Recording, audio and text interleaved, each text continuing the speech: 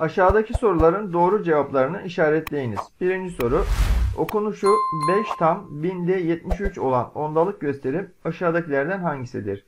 5 tam binde 73 şu şekilde olmalı. Doğru cevap B şıkkıdır. İkinci soru 206 virgül binde 875 ondalık gösterimindeki 5 rakamının bulunduğu basamağın adı aşağıdakilerden hangisidir? 5 rakamının bulunduğu basamak binde birler basamağıdır. Doğru cevap D şıkkıdır. Üçüncü soru 79 tam binde 183 ondalık gösterimindeki 8 rakamının basamak değeri aşağıdakilerden hangisidir? 8 rakamı yüzde birler basamağında olduğu için basamak değeri 0,08 şeklindedir. Doğru cevap A şıkkıdır. Dördüncü soru. Yandaki sayıda noktalı yerlere yazılacak rakamların toplamı kaçtır? Şimdi burası arkadaşlar bakın 0,2'ymiş. O halde buraya 2 yazacağız. 9'muş. Birler basamağına 9 yazacağız.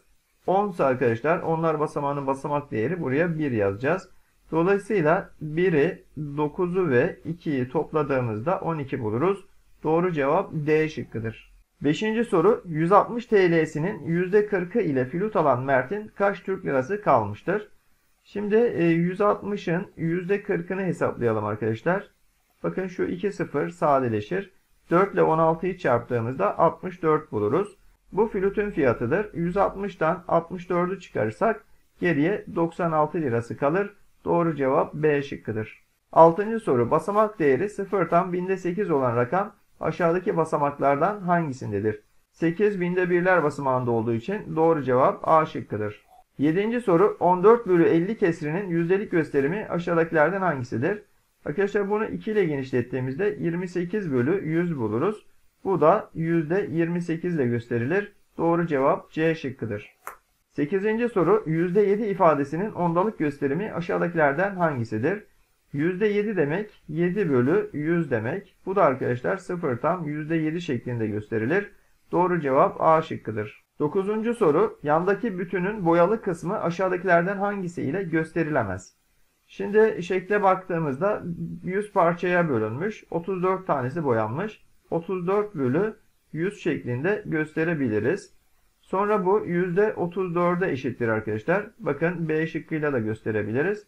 Ondalık kesiri çevirdiğimizde 0 tam %34 olur. A şıkkıyla da gösterebiliriz ama D şıkkıyla gösterilemez. Doğru cevap D şıkkıdır. 10. soru aşağıdaki sıralamalardan hangisi doğrudur? A şıkkı 4 e, virgül binde 123 küçüktür 5 e, tam onda 8'den şurası doğru. 5 tam onda 8 küçüktür 4 tam binde 999'dan. Şurası yanlış arkadaşlar. 5 e, tam onda 8 daha büyük olacaktı. A gitti. B'ye bakalım. 34 virgül onda 3 büyüktür 33 tam onda 3'ten. Bakın burası doğru. 33 tam onda 3 büyüktür 33 tam onda 4 demiş. Burası da yanlış. Çünkü bakın 3 4'ten daha küçüktür. Bu da gitti. C şıkkına bakalım. 18 tam onda 1 büyüktür 17 tam onda 6'dan. Burası doğru. 17 tam onda 6 büyüktür 18 tam onda 5'ten. Bakın burası da yanlış. Çünkü 17 18'den büyük değil. Bu da gitti. D şıkkı 9 tam binde 642 küçüktür. 9 tam binde 652'den burası doğru. 9 e, tam binde 652 de küçüktür. 9 tam binde 666'dan burası da doğru. Doğru cevap D şıkkıdır. 11. soru 4 TL 35 kuruş artı 27 TL 25 kuruş işleminin sonucu aşağıdakilerden hangisidir? Şimdi 4 TL 35 kuruşu böyle yazarız. 27 TL 25 kuruşu da böyle yazarız. Topladığımızda 5 5 daha 10 elde var 1. 3 2 daha 5 1 de elde 6. 4 7 daha 11 11'in biri elde var 1. 2 1 daha 3. 31,60 bulduk. Arkadaşlar şuradaki sıfırın değeri yoktur. Sonuç 31 tam onda 6 eşittir. Doğru cevap B şıkkıdır. Aşağıdaki çalışmaları yapınız. 1. Aşağıdaki işlemleri yapınız. A şıkkı. 304 virgül %65 92,7. Şimdi toplayalım. Şuraya bir sıfır yazabiliriz. 5 0 daha 5 6 7 daha 13 13'ün 3'ü elde var 1 4 2 daha 6 1 de elde 7 9 ve 3. Bu işlemin sonucunu 397 tam %35 olarak bulduk. B şıkkı 186 ile 12,721'i toplayalım. Buralara 0 yazabiliriz. Topladığımızda 1, 2, 7, virgül, 8, 9 ve 1 olur. İşlemin sonucu 198 tam binde 721'dir. C şıkkı 642 virgül e, binde 65'ten 83,71'i çıkaracağız. Buraya bir 0 yazabiliriz. 5'ten 0 çıktı 5 kaldı. 6'dan 1 çıktı 5 kaldı. 0'dan 7 çıkmaz. 10'dan 7 çıktı 3 kaldı. Burada 1 kaldı. 1'den e, 3 çıkmaz. 11'den 3 çıktı 8 kaldı. Burada kaldı 3. 3'ten 8 çıkmaz. 13'ten 8 çıktı 5 kaldı. Burada da 6 1 eksildiği için 5 oldu. Sonuç 558 tam binde 355'tir.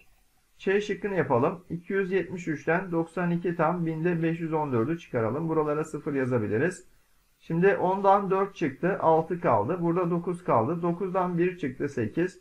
Burada 9 kaldı. 9'dan 5 çıktı 4 kaldı. Virgülü yazalım. Şimdi buradan bir elde almıştık. 2 kaldı. 2'den 2'yi çıkardık 0. 7'den 9 çıkmaz. 17'den 9 çıkınca 8 kalır. Burada da 1 kalır. Sonuç 180 tam binde 486'dır.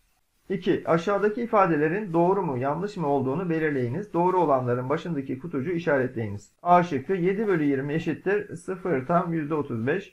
Şimdi bunu arkadaşlar 5 ile genişlettiğimizde 35 bölü 100 olur. Bu da 0 tam %35'e eşittir. Doğrudur.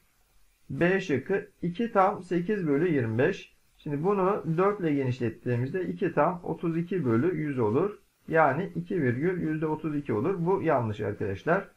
C şıkkı 6 tam 26 bölü 200. Bunu 2 ile sadeleştirdiğimizde 13 bölü 100 olur. Yani 6 tam %13 olur. Bakın bu da doğru çıktı. Ç şıkkı 7,04. Bu arkadaşlar 7 tam 4 bölü 10 değil 7 tam 4 bölü 100 olmalıydı. Bu da yanlıştır. D şıkkı 19 bölü 100 eşittir %19 doğrudur. E şıkkı 22 bölü 50 %22 yazılmış. Bu yanlıştır arkadaşlar. 2 ile genişlettiğimizde 44 bölü 100 yani %44 olmalıydı. Geçelim F şıkkına. %57 bu 57 bölü 100 diye yazılır. 100 bölü 57 yazılmış yanlıştır. G şıkkı 17 bölü 25 bunu 4 ile genişlettiğimizde 4 kere 17 68 bölü 100 olur. Bu da %68 ile gösterilir. Doğrudur. Yumuşak G 0 tam %82 küçüktür 4 bölü 5 denmiş. Şimdi 4 bölü 5'i arkadaşlar 2 ile genişlettiğimizde 8 bölü 10 olur. Bu da 0 tam 10'da 8'e eşittir. 0 tam %82 0 tam 10'da 8'den daha büyük olacaktı. Bu da yanlış yapılmış. Doğrular A, C, D ve G'dir.